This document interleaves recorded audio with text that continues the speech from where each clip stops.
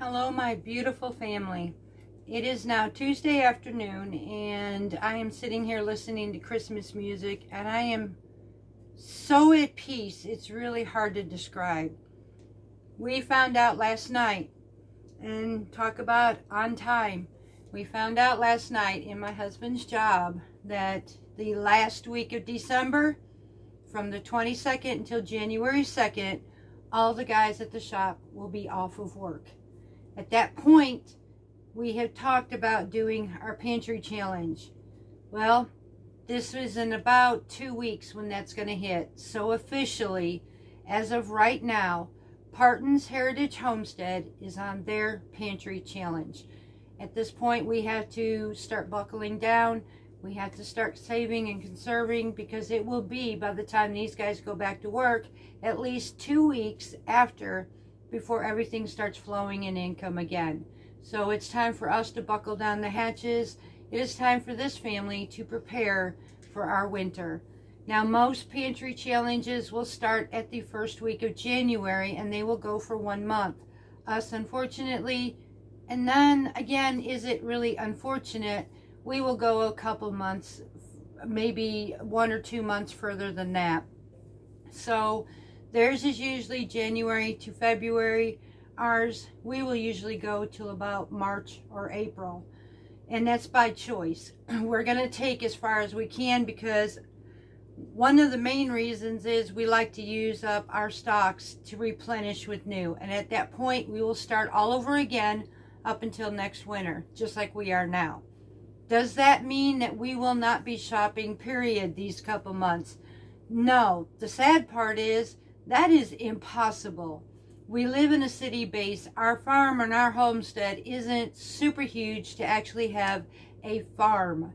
We don't have our own cattle, our own goats, our own pigs, our own meat sources other than poultry and eggs. So we will have to go to the store. We have to get our milk. We have to do our cheese. However, I can make homemade cheese to cut my cost.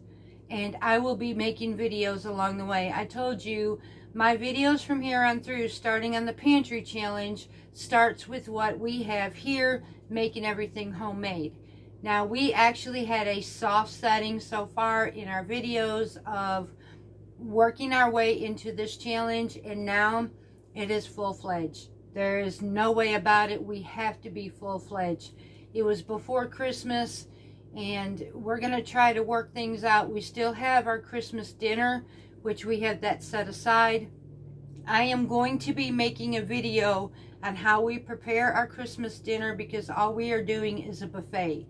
We choose a family tradition every year to do buffet style and ours will be Mediterranean low carb all American mix and so I will show you what we do.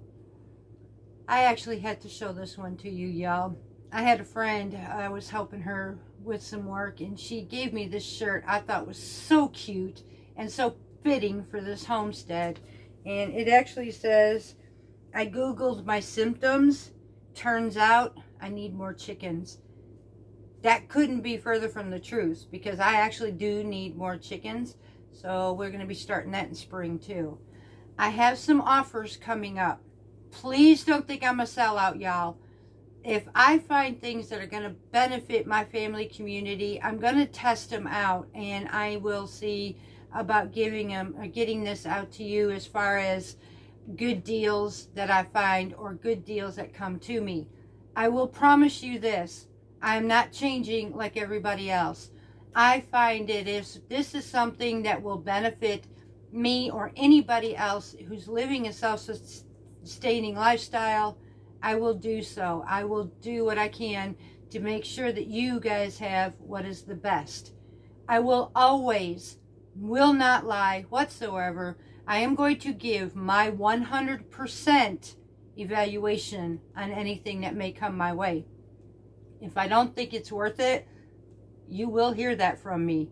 I will not lie for anybody.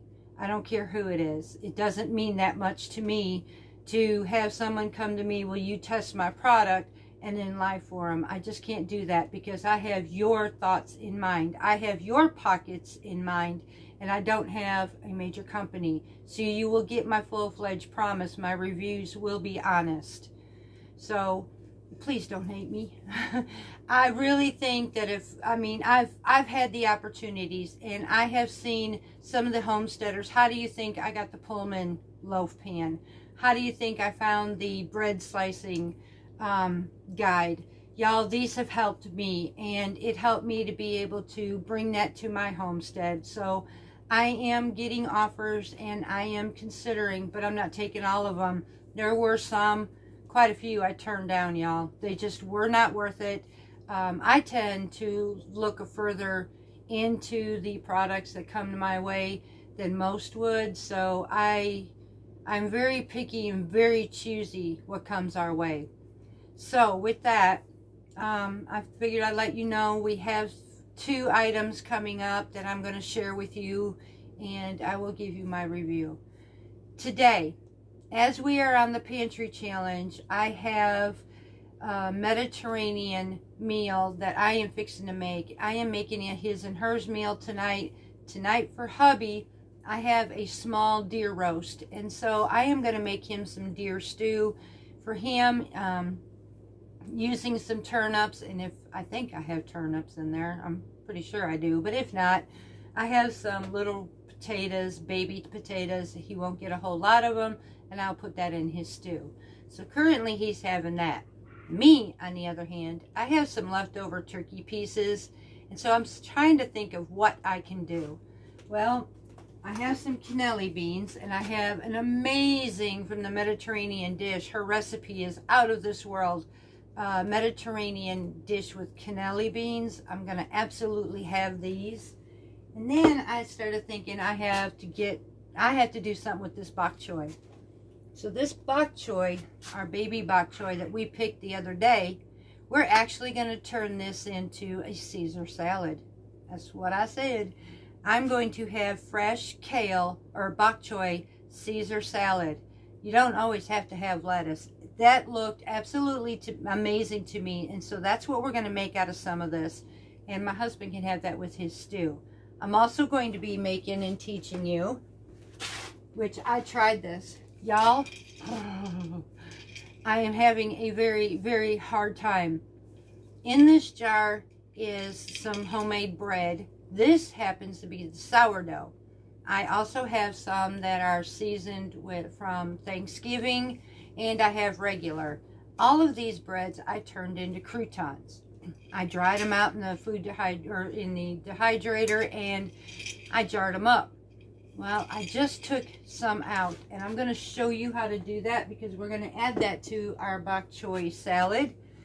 So I took the the uh, sourdough, and these, oh, oh, oh, these are amazing. I will never, I'm telling you, after I, I couldn't, I, there's not enough for my salad. I got to make more. Um, I'm bad at that. I, am going to be making some more of these and I'm going to show you how to do it in a clean, healthy way. The flavoring to this is freaking out of this world, to be honest with you. And I absolutely love this. This is something I will definitely keep from now on, even if I have to bake a loaf just to turn it into croutons. I, there's no way I'm ever buying them again. So let's go to the kitchen, y'all. I love you. It's a great day. It's sunny, it's cold, but it's a great day. And I couldn't be at further peace. I know what's coming ahead of us, but I also know that our God has got us. There's nothing to be worried about. If I worry, it's not going to change my situations. The guys are still going to be off work for a week. The bills are going to get paid somehow, some way. We don't know how, but it ain't something we haven't done before. I could cry, gripe, and complain, but it isn't still going to change the situation. Bills still have to be paid. If it means we have to buckle down, so be it. If it means that we have to sacrifice, so be it. Let's do this. Let's get it through. It's only for a couple weeks. And then again, we choose to go further. So can we replenish so that we could start something fresh? Because we got a seed haul coming up. Yep, we are going to be doing that seed haul next month with you guys. We're going to let you know what this farm uses. I'm going to show you the storage boxes, which I have videos way down in the bottom of the 200 list of these items already. But we're starting a fresh new year, and so we're going ahead with you. Some of you asked for a live from our family, and we are forming together our very first live video. I don't know how this works because we've never done that, but our entire family on this homestead is coming to you all for Christmas. Now this will be a couple days early before Christmas, but we want to give you a special thanks from all seven of us. So look forward to that video coming up too. Now before I get even more emotional because it's just a great day, let's go to the kitchen.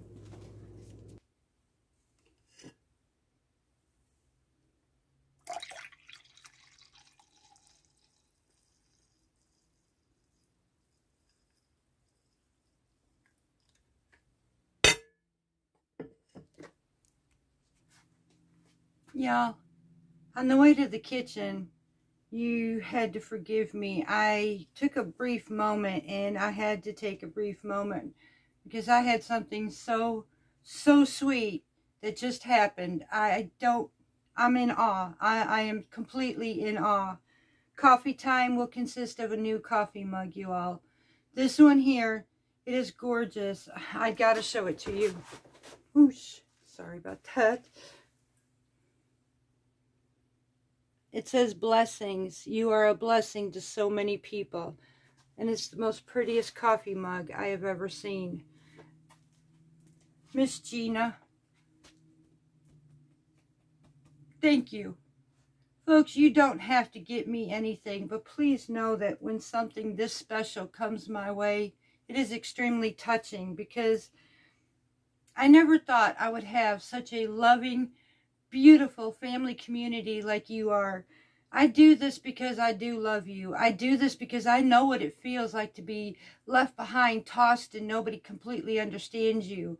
You have a disability of some sort, or you have a health issue and you can't participate. It's kind of like Rudolph and the Red-Nosed Reindeer. We just don't fit in everybody else's games. But you know what?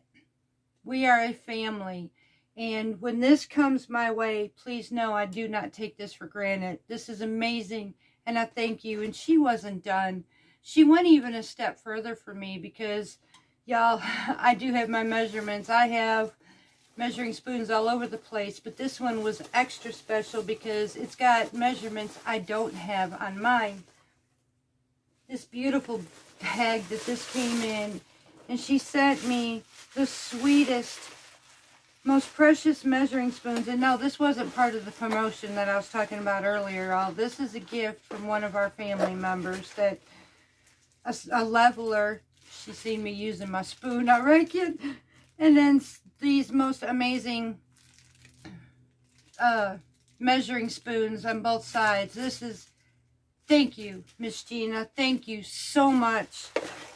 You, that's, that's amazing. And I'm sending you hugs from Mississippi right now, and I'm probably crying on your shoulders right now out of joy. Thank you so, so much for this. You didn't have to do that. And for many of you who've been asking, I don't know how beneficial it will be to us, but me and my husband were talking yesterday. I mean, we try not to do things that we, you know, don't have to spend on. And like I said, we are not expecting anything from anybody. So please know that. But many of you have been asking for an address from us. So I am going to later this afternoon, we are going to get a small P.O. box and I will be starting to add that to the main topic of our channel. For a little while, I'm going to include the P.O. box number and address in the uh, description box below of all of our videos so that you know what our address is. You already know that we have an email. It's in the channel uh, description. So I'm going to go ahead and do a P.O. box because even just letters, y'all, you're so touching and we enjoy it. We do. But Miss Gina, my goodness. Darling, thank you. This is our new coffee time mug. So before I start bawling like a baby again, let's go to the kitchen. Okay, y'all, let's make our dressing. I wish you could hear this Christmas music. We've kept our channel in decent standards and good reputation, so we don't want to get no marks against us, or I absolutely would. We'd be listening to Christmas music while we're cooking in the kitchen. So we're going to start making our Caesar dressing. Now, I will tell you, I'm not using any raw eggs in this. It's actually going to be a creamy based, but even one that a diabetic at this point could absolutely enjoy. So we're going to need one cup of mayonnaise. Now, I'm not, uh, I will just put the description, uh, the recipe in the description box below for you. You know how I work. I give you the full recipe, even if I'm not using all of it. And for two people, I really don't need to. Okay, so one cup of mayonnaise. We need a quarter cup of Parmesan cheese. Okay, well, let's face it, that ain't a quarter cup. Honestly, cheese is cheese. I happen to like cheese. I don't know if anybody else does, but add your preference because that's exactly what I'm going to do. So, we're just going to add our cheese. I'm going to use some of this to sprinkle on top afterwards. I need one clove of garlic. And I am actually going to use some of this minced garlic. One clove can equal about a tablespoon or so. So I'm just going to add maybe about a half a teaspoon. Oh, Miss Gina, these are amazing. I love this. They're magnetic too, so they stay together nicely. You made my life in the kitchen so much fun. Okay, I'm going to add, I can add more later on for that. Oh, these are amazing. Okay, and now we're going to need one tablespoon of lemon juice. Again, I don't have any fresh, so it's going to be bottled. It will work. It's not going to hurt nothing.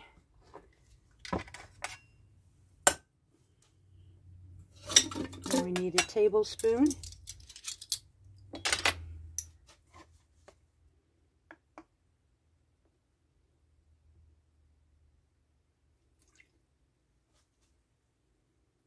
Okay.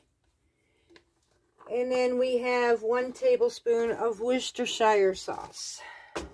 Worcestershire sauce. That one, this bottle was really hard to pronounce for the longest time for me.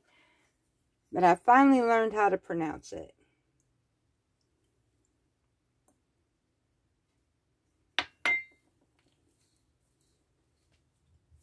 We need a half a tablespoon of Dijon mustard.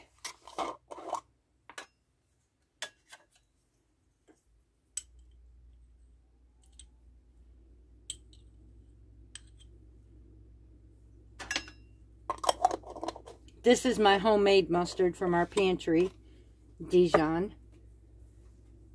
We need a teaspoon of anchovy paste. Now, I use anchovy paste or I use regular anchovies. The anchovy paste you can find in Walmart in case you're looking for it. You can find it in the area where you get your canned chicken or, or, canned tuna, your uh, crab meat, all of those canned areas you can find anchovy paste at. It's uh, Reese's anchovy paste.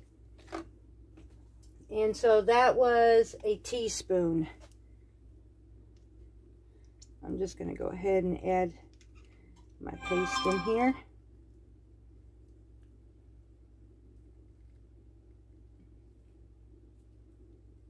Now this is a bit hard, one-handed like this, so I'm just going to squeeze this up here.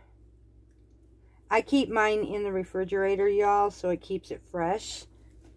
We'll be right back. Okay, we got it now. I wasn't going to struggle with this thing. And there's a teaspoon of that. And then we need just a little bit of fresh black pepper. Now, I'm not adding salt to this because the Parmesan and the uh, anchovy paste have their own salt. So that's plenty enough to add to this dish. And I'm just going to mix this all together. And it looks like a big old mess right here. We're going to take this now and massage this into our bok choy. So let me clean this area up and then I will show you how we're going to dress our bok choy. Okay, now this is a messy job, so you can take two in a bigger bowl than this, two spoons, whatever, forks, mix this all together. But I'm literally going to massage this dressing into this and go from there. Probably not going to use even all of this right now. I still have some more bok choy, so I can add another batch for something. But I am actually going to toss this up in this mix really well into my bok choy. Y'all, this looks so amazing. We have some baby quails or some quail eggs that I am fixing to boil up to add to this. I have some turkey pieces that I'm going to add to this. This is going to be my supper tonight with the cannelli beans. And I will go ahead, mainly, I'm just going to go ahead and do my whole supper with you tonight. I think that would be amazing to show you all this. Now, this is tossed. We're going to set this aside now. I'm going to put this in the refrigerator, let it chill. We're going to put the rest of this dressing away for another meal. And we'll be back so I can show you how to do these croutons. Alright, y'all. Let's get started on these. Oh, my goodness. Where have you been all my life? Croutons. Y'all, Someone had mentioned that I am a foodie. I am. I am such a foodie. I can actually be a very foodie snob, if you ask me, too, because I'm very particular on flavor. If it doesn't, it, I, I, I'm not just a foodie for just anything. I do happen to love a lot of flavor. I love gourmet. I love foods from around the world, and not just anything works. So I guess I'm kind of a snob. And that's why when I bring food to you, I'm going to make sure that it's of good quality because it's who I am. It's what I worked hard to become of who I am. And I'm proud of that. I, am not a papered chef. That was always my dream, but it never happened. So I just became a self-taught chef. I had an opportunity of amazing executive chef who, before he passed away, took me under his wing he coached me in a lot of things and he inspired me to keep moving. When young, papered, arrogant chefs cut me down. So this executive chef was, he was my best friend and he was absolutely amazing. I'm grateful for him and I'm grateful for his teachings that he taught me. So anyways, and I started that in here. I needed to actually do another step. So we're going to put these in our bowl first I got carried away thinking about my chef friend. And then I am going to be adding some olive oil. I'm using healthy fats in these. That's about a tablespoon and a half of olive oil in these. And then I'm going to add a pinch of Italian seasoning. There's about a quarter of a cup maybe a half of these breadcrumbs. But honestly, make it to your preference because these actually make a really good snack too. The last batch didn't last me long.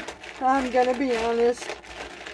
And this is any breadcrumb. From any bread that you have that is fresh, whether it be stale, whatever, turn them into breadcrumbs. These happen to be sourdough. They get that perfect sour taste to this with the flavorings. It just sets this off to, oh Lord, another place I never tasted before. And it's actually making me want to make some more sourdough sandwich bread, honestly, for a big batch of this this winter. So I am currently feeding my sourdough starter because that's what I'm going to do. And I'm going to try to make it in my Pullman bread pan. So now that I've massaged this, we're going to actually heat these up. So I'm going to take just a tad bit. About a teaspoon because we do have olive oil in our breadcrumbs, but one can never get really too much olive oil because it's really good for you. And we're going to heat this up. We're going to literally try to bake these flavors in here. Now, like I said, I do have some sandwich bread that I made also that has um, the seasoned, like poultry seasoning, um, turkey dressing seasoning mix in it. So that would make beautiful croutons as well. We're going to heat this up. Once this gets heated up, we'll be right back. Okay, y'all. So now I'm going to add just a little bit more of a healthy fat. And I'm making that with this homemade ghee to give that little bit richer buttery flavor on top of the olive oil. And then we're just going to blend this in here with all the seasonings in it. I'm also going to add a pinch of garlic powder to this, some salt, and just a tad bit of pepper.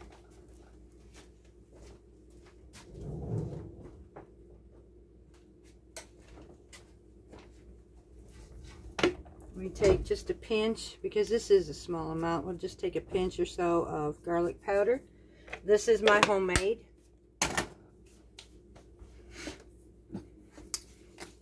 Just a tad bit of salt, not a whole lot.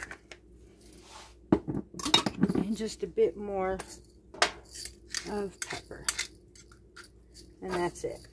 That's all this needs. You can bake this if you choose to. You can put these in an air fryer. Do not do it long. You really don't have to, especially if you've dried them already. I'm just adding the moisture to these. Season them up just a little bit.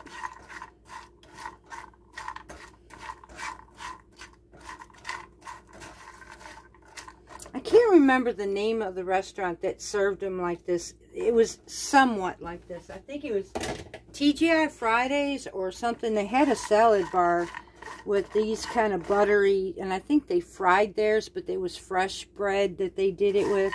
They were amazing. And this just tops right up there, but just slightly better. So we're going to go ahead and heat these up. And we'll be back just as soon. Oh, I can smell that already. Whew. We'll be right back.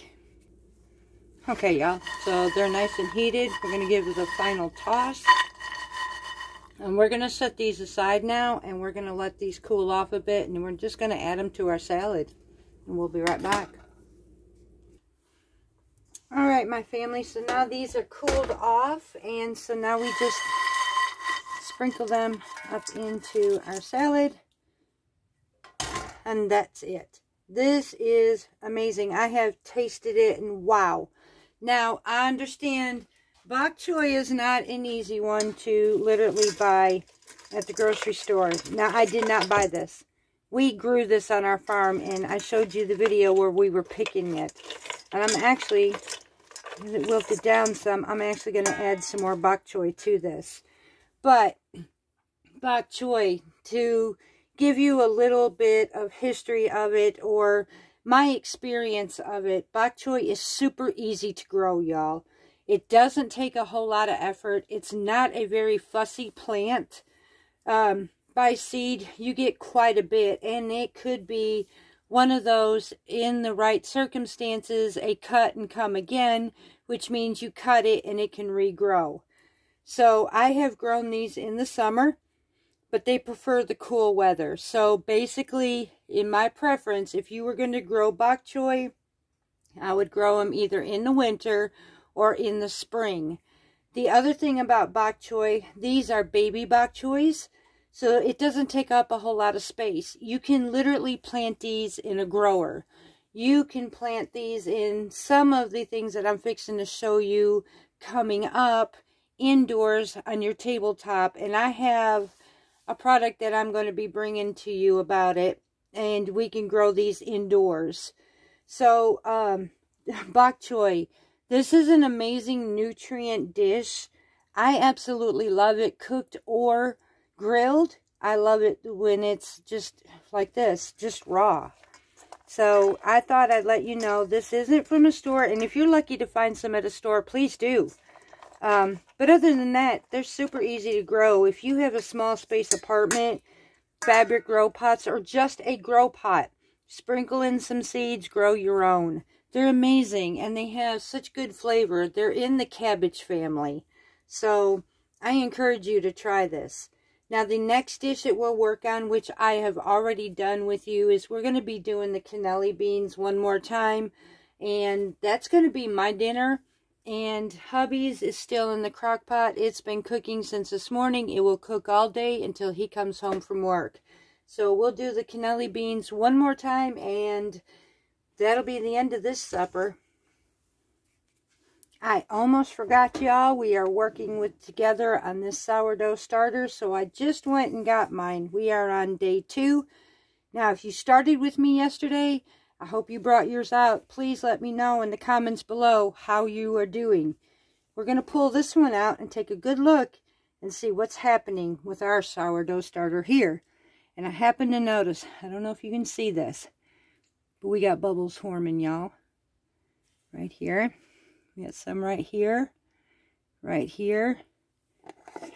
It's starting, it's getting that, it doesn't actually have that sourdough uh, smell yet. It's going to take a while before it establishes that. I am getting a little bit of hooch, but so far we're doing okay, which means it's going about to get hungry. So I'm going to say on day three, this one is going to want to be fed. I'm starting to see some bubble activity on the top. We're starting to see some down here. This is not rising. I didn't expect it to. We didn't want it. We needed to build its bacteria up. So, so far, it is working. And we're going to put this back in the pantry. We're going to let it sit another day. We'll come back tomorrow with this one and we'll decide what we're going to do from there. I think this one is going to want to be fed. So, I'm going to seal my lid, take it back a notch, cover it up, and we're going to go put this back in the pantry where it was cool for it to stay in there. In the meantime, this one, it's time to be fed. I am going to take you through the process of how I feed my one, a little over one year old starter and show you what discard is and all that stuff. So let me get this baby put back and we'll come back with my best friend in my kitchen. Okay, y'all, so now we're going to go ahead and feed this big old boy. I'm going to take the contents of this entire jar and I'm going to separately put it in another bowl. I'm going to scrape, scrape this out as much as I can. Now, this is going to make a mess. I'm not going to actually clean this jar up yet. I'm just going to try to scrape it down afterwards and clean it up as much as possible. I don't do this every time I feed as far as cleanup. But I do try to keep my jars as clean as possible, which I explained to you all why. This is a big old mess in here, but it's worth it because I use a lot of this discard. And if I wanted to at this moment, I could use this to make some bread out of without having to uh, use yeast to it. But because I'm going to wait a little bit, it will end up having to be used with yeast. So, I'm just going to clean this up just a little bit here. Clean off these sides, and then we're going to start feeding this big old boy. This is my pride and joy. I started it from scratch, and it was the most satisfying thing ever uh, to, to know that I conquered and succeeded in making my own sourdough starter. So let me go ahead and get a, a rag. I'm going to clean this up a little bit. Okay, y'all. So we got this cleaned up now. I'm going to tare what is called taring out my scale to a zero.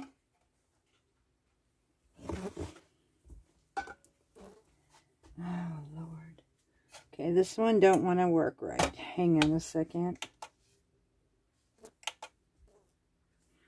All right, so I want a 100 grams of sourdough starter to start with. We are doing a 1 2 2 ratio. So I'm going to pour in here 100 grams of starter. The one is my starter point. The two is the flour. And the other two is my water. Pay close attention to this. If it goes slightly over on this, it doesn't matter. I just don't want it to go too crazy.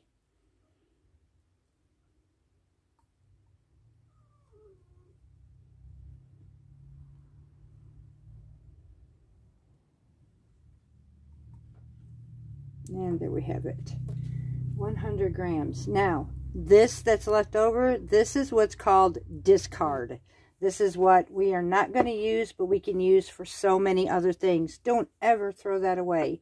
If anything, you can use this in your compost. So, okay, so I am just a hair over. I'm about 102, so I'm going to go ahead and take some of this out even at 102, it wouldn't have mattered too much. Okay, there it is at 100. So now I've got this at 100. Now the 2, 2 is, like I said, my flour and water. I'm using the same mix with the whole wheat flour and the unbleached bread flour for my mixture in this one, just like we have with our baby.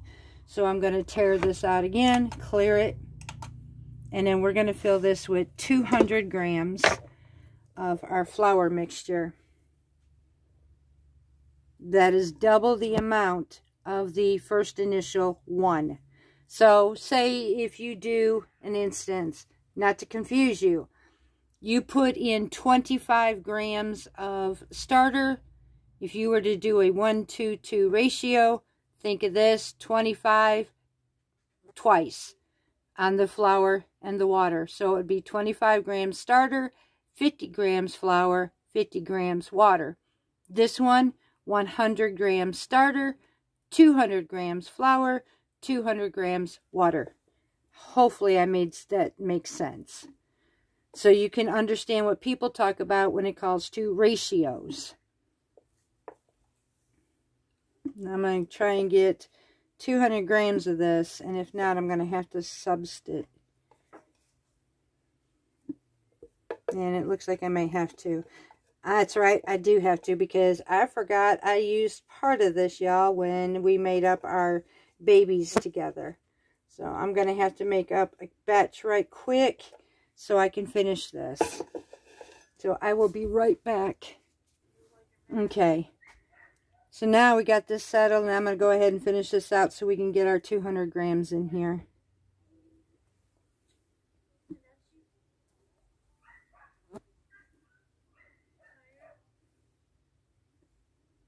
Ooh, nope, we're still good at the moment. Just a little bit more and there we have it. I have just a hair over so I'm just going to take some of this out.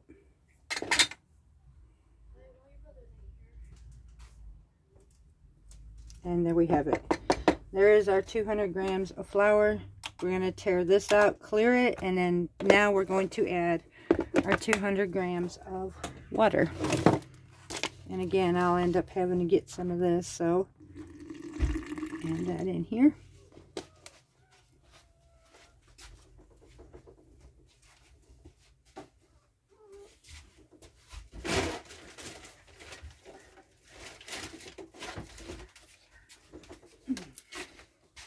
And you can make this lukewarm if you want to. It doesn't really matter. I usually just set mine on the counter. And after all this time, especially if I'm going to use it soon, and I am actually getting ready to use mine to make another loaf. I'm going to try another uh, sandwich bread out of it.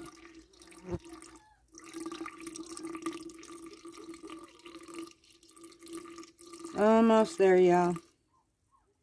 There it is. Wow, that was perfect.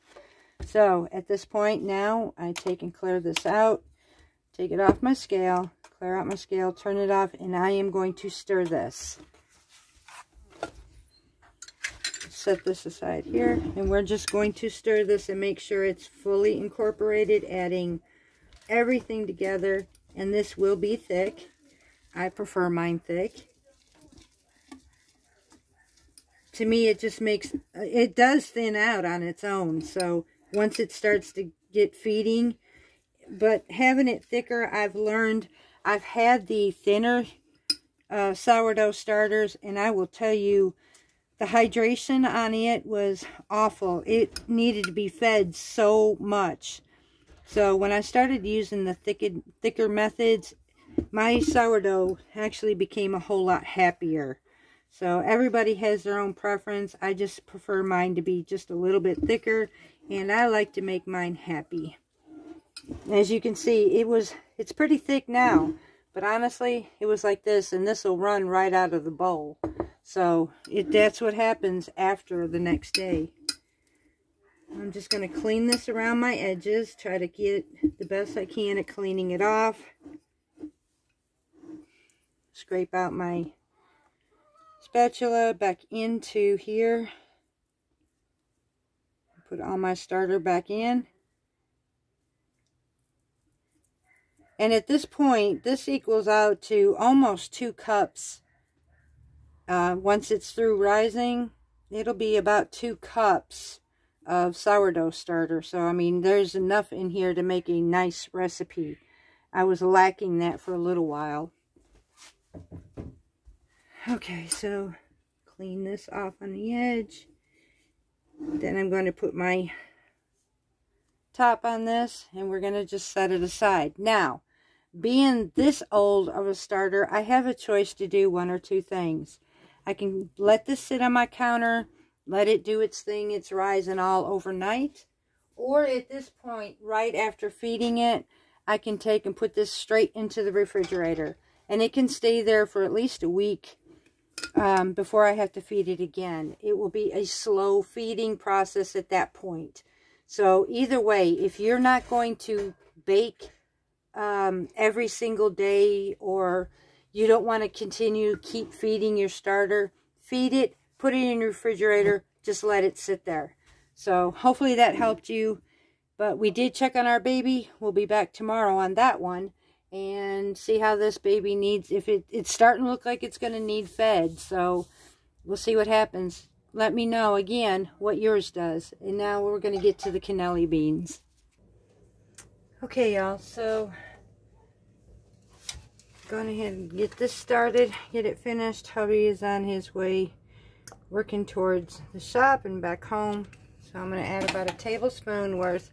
This is for one person, two people actually but I'm going to give you the full recipe again. This recipe has been put down in the description below on another video. That one is the 15 minute garlic parmesan cannelli recipe or the garlic parmesan cannelli. It is amazing. Um, it's from the Mediterranean dish. Uh, Suzy is an amazing cook. So this is just that same recipe. And I'm just using what I have at home.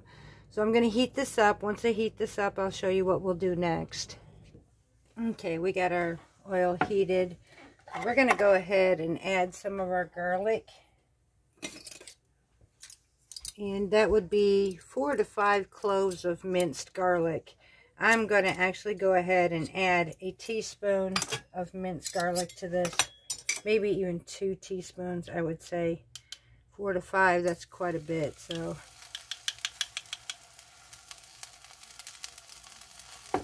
go with a teaspoon and a half.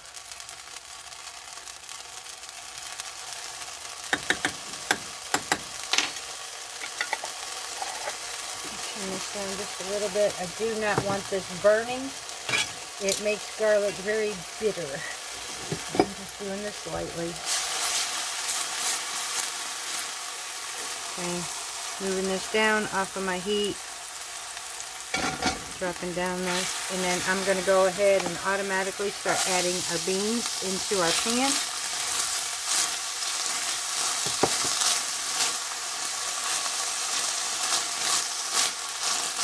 And then, which that was one 15 ounce can of beans.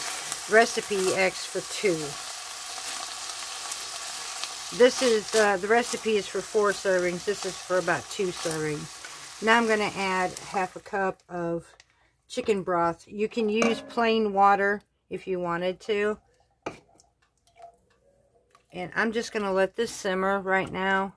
till these beans, believe it or not, they may be from the store. You may think that they are cooked, but these beans will absorb this juice. So right now, I'm going to go ahead and let this absorb in here. Uh, I'm going to cover it up and we will be back and let these cook. Just for a little bit. So we will be right back. Okay, so we do not want to lose all of our liquid from here. So they've absorbed at least half of this liquid. I'm going to go ahead and add the rest of my ingredients, which is my seasonings. The next one would be adding some chopped fresh parsley in here. And I had some surprisingly still in my herb bed, so we are definitely going to use it. I love the freshness. I'm going to mix this together. Now I'm going to add a teaspoon of what's called Aleppo pepper. Now unfortunately I do not have the Mediterranean Aleppo pepper but I can do a substitution of it. So I will be using part paprika, part red pepper flakes. That's about as close to Aleppo pepper as I'm going to get. Now it calls for one teaspoon of Aleppo pepper. So what I am actually going to be using is a half teaspoon of each.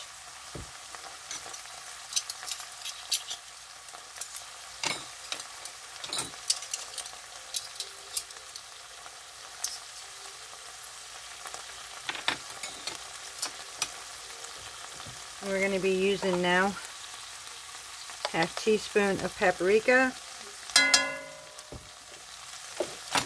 a half teaspoon of red pepper flakes,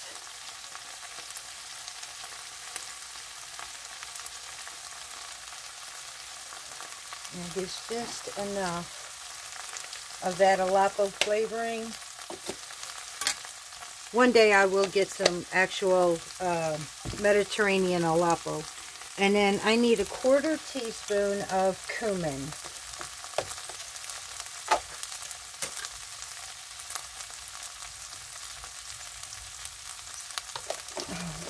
I love these beans. And I've never been a person for beans, but there is something about these beans that are absolutely amazing.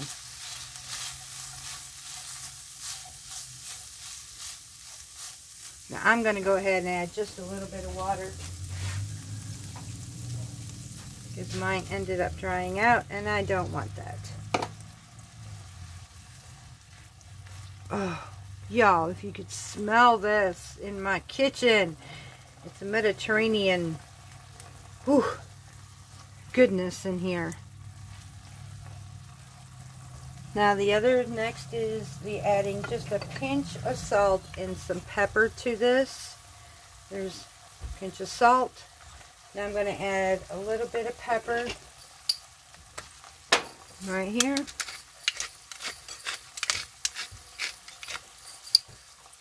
And then the last is adding some Parmesan cheese.